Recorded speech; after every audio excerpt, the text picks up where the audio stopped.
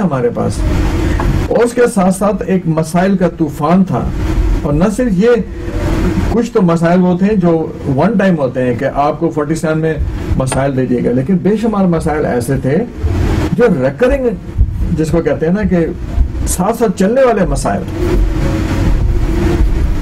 اور پھر اس کے ساتھ ساتھ نہ صرف یہ کہ وہ ریکرنگ مسائل، بلکہ پھر ساری فورسز جو تھیں، وہ ہمارے اگینسٹ ڈال دی گئیں۔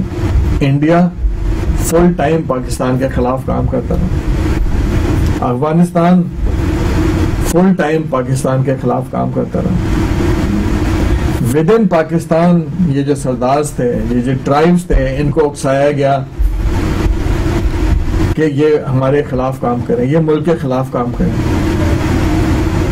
جیسے جیسے حالات بڑھتے گئے، جیسے جیسے ہم آگے جاتے گئے، ہم ایک قدم آگے بڑھتے تھے، ہمیں دو قدم پیچھے کی لیا جاتا تھا۔ میرے نوجوانوں، میری قوم کی جو امیدیں ہیں، وہ تم سے ہیں۔ آپ تھوڑا سا ہسٹری کو پڑھو، تھوڑا سا کول مائنڈیڈلی دیکھو کہ ہمارے ملک میں ہو کیا رہے اب، آج جہاں ہم کھڑے ہیں یہ نہ تو نائنٹین فورٹی سیون ہے اور نہ ہی یہ وہ پاکستان ہے۔ آج پاکستان ایک نیوکلیر پاور ہے۔ اس کو یہ کوئی تشتری میں رکھ کے کسی نے نہیں دیا تھا۔ کسی نے آپ کو اسسٹ نہیں کیا۔ کسی نے آپ پہ عنایت نہیں کی۔ پاکستان آج نیوکلیر پاور ہے تو اپنے دم سے۔ یوتھ نے اس کو بنایا، نوجوانوں نے بنایا، اسی ملک کے سیاستدانوں نے بنایا، اسی ملک کے پولیٹیشن نے بنایا۔ آج پاکستان کی فوج الحمدللہ دنیا کی بہترین فوج ہے۔ یہ بھی ایک ریالٹی ہے۔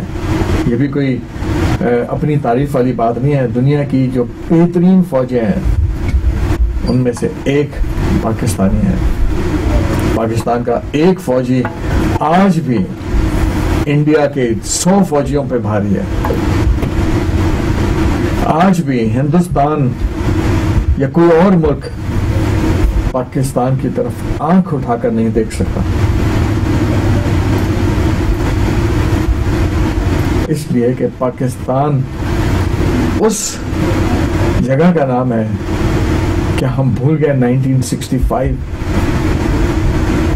جب انڈیا نے رات کی تاریکی میں پاکستان پہ حملہ کیا تھا اور صبح جب زندہ دلانے لاہور کو پتہ چلا کہ بھارتی جو ہیں وہ لاہور جم خانہ میں شام کی چائے پینا چاہتے ہیں اور ان کے تمام ٹینک اور ان کا تمام توپ خانہ جو ہے وہ مارچ کر رہا ہے پاکستان کے بارڈر کی طرف۔ تو جہاں ایک طرف ہمارے ایئر فورس کے پائلٹس نے ان کی اینٹ اینٹ بجا دی، جہاں ایم ایم عالم جیسے لوگوں نے تاریخیں لکھ دی اور وہ جذبہ آپ دیکھیں کہ ایک طرف ایم ایم عالم جو تھے وہ آسمان میں ڈاگ فائٹ کر رہے تھے انڈین جو جہاز تھے ان کو وہ مچھروں کی طرح سے مار رہے تھے، بٹیروں کی طرح سے مار رہے تھے اور اس سے بڑی آپ دیکھیں، اس قوم کی بات دیکھیں کہ زندہ دلانے لاہور چھت کے اوپر کھڑے ہوئے، تالیاں بجا رہے تھے۔ وہ کاٹا کے نعرے لگ رہے تھے۔ یہ ہے پاکستان، یہ ہے پاکستان۔ جاگو میرے یوتھ، جاگو۔ ہمارے پاس کسی چیز کی کمی نہیں ہے۔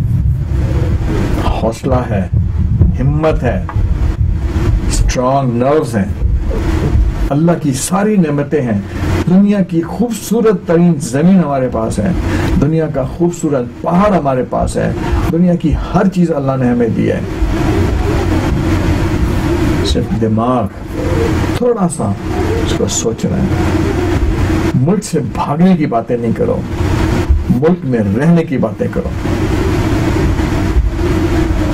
اور یہ جس طرح سے ایٹم بم آپ کو کسی نے تشتری میں رکھ کے نہیں دیا، اسی طرح سے کوئی آپ کو سپورٹ نہیں کرے گا you have to support yourself we Pakistanis have to support ourselves take pride in your own country آپ دیکھیں، دنیا سے سبق لینا چاہیے۔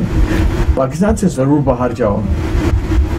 ہمارے نبی پاک صلی اللہ علیہ وسلم نے ہمیں یہی کہا علم حاصل کرو۔ آپ جاؤ۔ کہیں بھی جاؤ۔ آپ دیکھو، اس طرح جاؤ جس طرح ایک جاپانی جاتا ہے۔ جاپنیز جو ہیں، ان کے بارے میں جب ایک امریکن چودہ سال اس نے امریکہ سے جاپان میں آ کے گزارے، صرف یہ ریسرچ کرنے کے لیے کہ how come these Japanese are still so powerful in economics ان کی ترقی کا راز کیا ہے؟ تو اس نے اپنی کتاب کے آخر میں جو ایک جملہ لکھا تھا، وہ مجھے کبھی نہیں بھولتا۔ اور وہ یہ تھا، اس نے کہا کہ جاپانی جو ہے وہ جہاں کہیں بھی جاتے ہیں، وہاں سیکھتے ہیں۔ They learn and they gain information and then bring it back in their country and apply on their country. یعنی جاپانی باہر جاتے ہیں سیکھتے ہیں نالج لاتے ہیں and then they apply in their own country. جاپانیوں کو شرم نہیں ہے اپنے کلچر سے وہ آج بھی آج بھی اگر آپ کو کوئی جاپانی امریکہ میں بھی ملتا ہے تو دو زور کر کے جھک جاتا ہے اپنے کلچر اپنی زبان اپنی تہذیب اس پہ ان کو ناز ہے۔ ہم کیوں اپنے دنیا کے جو ہمارے جو دشمن ہیں، جو ہمارے ودن ہم ودن پاکستان رہتے ہیں، کوئی ہمارے لیڈر کی شکل میں ہے، کوئی ہمارے پولیٹیشین کی شکل میں بھی چھپا ہوا ہے۔ یعنی مکس ہو جاتے ہیں نا۔ Not everyone is bad one out of اور کوئی پولیٹیشین ہوگا جو کسی اور کے مشن پہ کام کر رہے ہیں آپ ان کو چھوڑ دیں۔ You have to wake up آپ کو پاکستان کو مضبوط بنانا ہے۔ کیونکہ there is no second choice کوئی آپشن نہیں ہے پاکستانیوں کے پاس۔ پاکستان چھوڑ کے کہاں جائیں گے؟ Pakistan is our motherland Pakistan has to be strong and Pakistanis are going to make it strong ہمارے پاس we are not handicap Pakistanis are not handicap ہم کہیں بھی رہیں ہمارا دل تو پاکستان کے لیے ہے۔ اور پاکستانی تو اتنے اچھے لوگ ہیں، وہ جہاں بھی جاتے ہیں۔ آج امریکہ کی جو اکانومی ہے، اس میں ایک بڑا رول پلے کر رہے ہیں پاکستانی۔ پاکستانی جو ہے یہاں بزنسز کر رہے ہیں۔ یہاں ناسا میں کام کر رہے ہیں۔ ڈاکٹرز ہیں انجینئرز ہیں۔ امریکن اکانومی کو بھی بوسٹ کر رہے ہیں۔ اس کے ساتھ ساتھ ان کے دل پاکستان کے لیے بھی دھڑکتے ہیں۔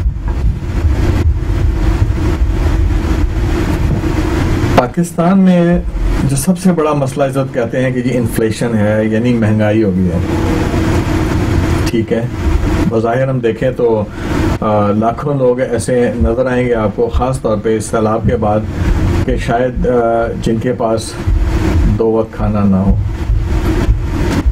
لیکن کیا واقعی مہنگائی ہے پاکستان میں؟ مجھے نہیں لگتا کہ پاکستان میں واقعی مہنگائی ہے۔ جہاں ایک طرف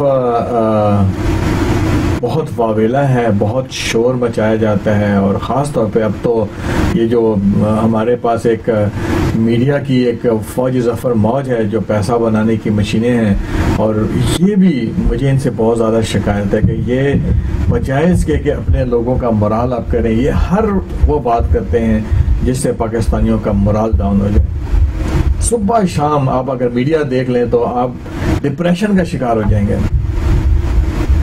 جس چینل پر دیکھیں، مرغے لڑائے جا رہے ہیں۔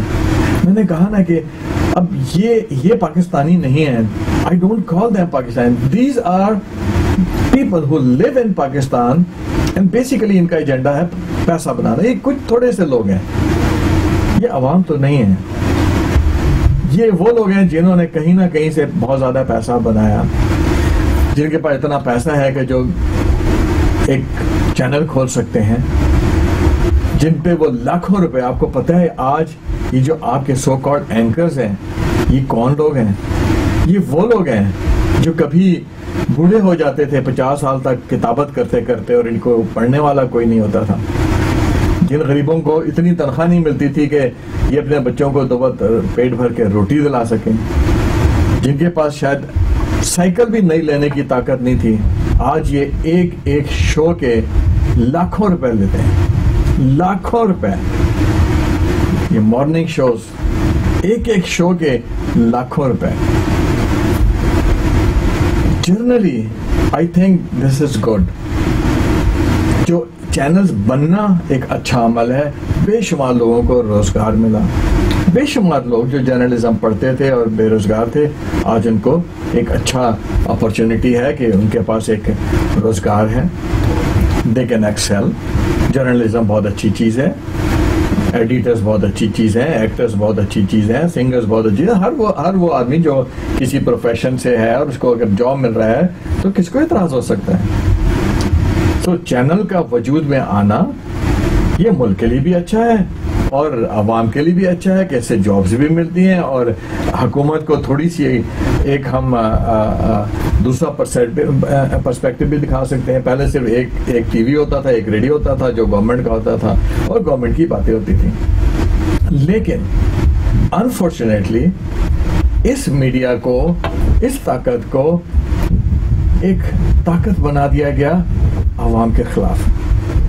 یعنی اب چینل پہ اپنا پروگرام بیچنا ہے۔ چاہے اس کی خاطر عوام کو سڑک پر لے آئے۔ کوئی نہیں کہتا